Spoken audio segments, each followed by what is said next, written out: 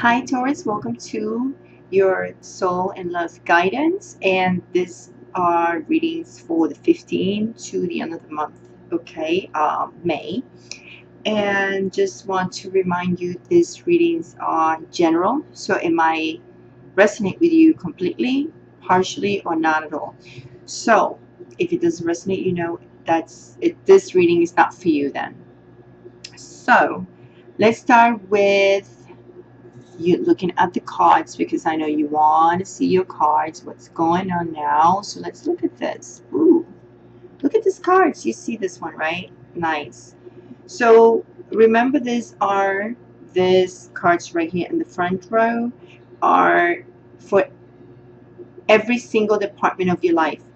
Love, work, studies, so this is your general energy, and the general energy you're going to be this last two weeks of May, Justice card, which is a great card to have, Taurus, because you really need this. Why I'm saying you're going to need this? Because we know Uranus is going to be passing, I mean, moving towards your sign. So you're going to be feeling it and I'm pretty sure you're already feeling it. So you don't like changes and you're gonna pass through a lot of changes. If you want to know a bit more of what I'm talking about and you don't know what what what is that I'm saying right now go back to the month to your monthly okay for May and at the end you will see at the end of the reading I'll put like a little you know bubble there. So you will see it says you know Taurus um, May reading. So it's important for you to listen to it because it's it's crucial for you to understand what is coming for you. Right, this is the start. Many changes will come. So the Justice cards, the energy you're going to be in, it's very important to understand that this card is telling you that you're going to be in a place where things are kind of falling into place. Why I'm saying that uh, is because there's going to be more balance. And if you see, this person right here is holding the scales. It's balancing things out. What is fair, right? So it's good to know that you're going to feel like things are going to be either in your favor or they might not be going in your favor. All depends on where you feel you're standing on. I'll see more like it's in your favor, to be honest. But there's a lot of things we need to talk about, especially when it comes to what you need to focus on, which I just started saying it. But what you need to avoid is this period of confusion you're going to be. So, oh, if you see this person, it seems like a trumpet, like this person is a face right there. You see? It's very hard. It's the clouds, but it seems like, I don't know, it seems like someone it's blowing something right out of his mouth. So for me it means like you're going to feel like you are you know when you're in the airplane and then you feel turbulence that's exactly how you're going to be feeling in an airplane passing through turbulence so what you need to do right it's not to blow up and act irrational but to ask advice for good friend. And it's very important you see this because you're going to need to help. And this is a good friend.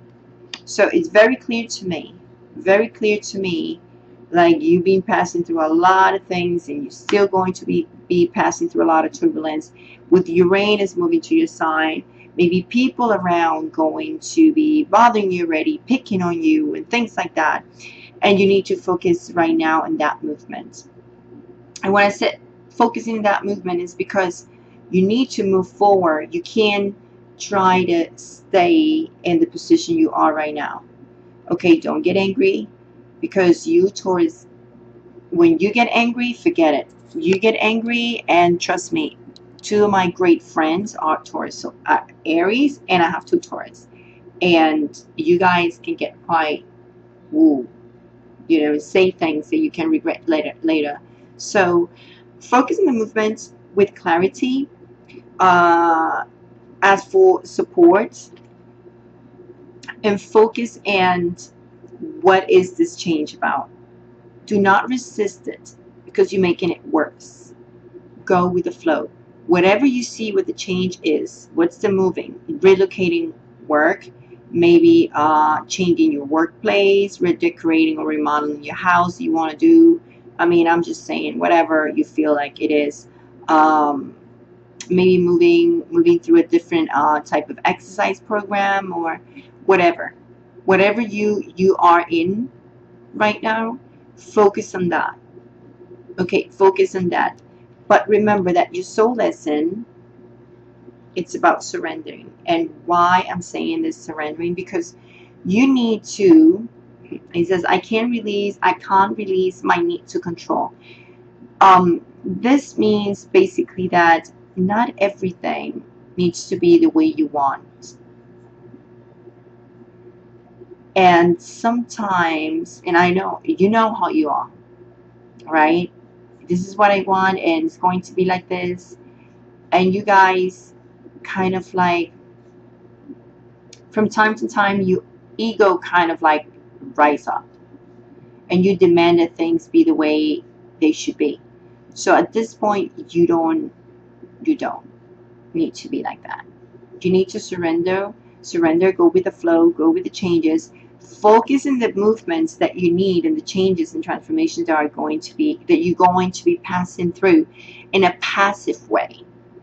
Do not go back here like, you know, saying things that you can regret. As for someone to, that friend that can give you an advice okay so I'm pretty sure you know this person and you know who it is and it could be like a mentor for you or it's just simply a friend it's a good friend of you of yours that you really need to talk to and you know calm down. Remember the justice here you're going to be feeling like it's fair everything is happening to you. Like okay. So you're going to feel the balance but at the same time, turbulence is coming in. So when I say you're going to have the balance and uh, you're going to have the turbulence is because one thing is going to compensate another, right? So it's not going to be that bad. Trust me. So now let's go for the love and let's do this pretty quick. For my singles who doesn't have anybody, you might be dating people, but you're not in a serious relationship. So, first of all, we have three cards. It's very important to look at these cards. You know what is blocking you for find love? There is something or a secret about lies or something that is blocking you.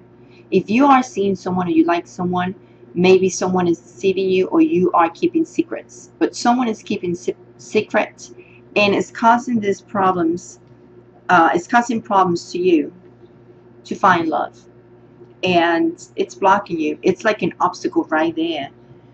But the good thing is like things are going to end and transform. All that anxiety that you're getting from this problem, okay, because I know you are dealing with this kind of sadness and that you you feeling because you can't find the love or you cannot move and progress in the relationship but that anxiety is going to end and actually at the end actually at the end it does seems like things are going to work and settle down a lot for you um, so if you decide to open up or you know or talk to this person and see what's going on because there's secrets here. There are secrets. There are causing problems in your love life, and these are the main obstacles. So they definitely going to end, and things are going to settle down to something um, more, more, um, more serious. I would say uh, something that is not going to keep you up and down, up and down, because I feel like you being up and down, up and down in this relationship with whoever you are with or whoever you want you you you are with that you're not in a relationship but at the same time in a serious relationship but at the same time if you're single you you might be dating dating or not finding anyone but it must be something. Maybe you are the one who keeping secrets. You don't show who you are. You just, you know, something is inside of you that is causing problems and obstacles in your relationships, in your love life. For my couples, for my couples. So, you know what? I think you need to just go to that friend. You might feel a little, you know, confused too when it comes to your relationship and what's going on. You might be feeling like, you know, things are going, adjustments coming around, putting things in order, and then you're going to probably feel someone is lying to you or keeping secrets from you or you are doing that. But you need advice because remember this is the soul guidance here and this is love here. So this is for every single department. For my couples. Okay, for my couples that you are together, marry or not marry, living or not living together, there is going to be a lot of talk. So some of you been having some talks that probably ended a long time ago. You guys don't wanted to bring it up ever, but maybe someone wanted to get pregnant or wanted to have a baby or, you know, things are transforming in terms to uh, conversations about probably increasing family, right? Having kids. But you kind of guys probably decided to let it be. Maybe you guys were having trouble having babies. And suddenly for some of you, there's going to be a surprise pregnancy or baby.